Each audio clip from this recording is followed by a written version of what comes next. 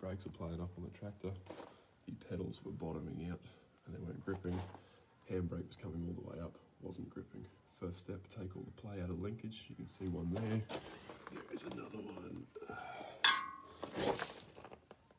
Just under there, just over here at this end. It's a bit hard to see. Doesn't matter. There's a linkage in there. Take it off, adjust it. And then it's easy to access underneath. You can see it better from on top. Down, just in there. That nut there is the brake actuator adjustment knob. Tighten that up, and then your pedals nice and firm.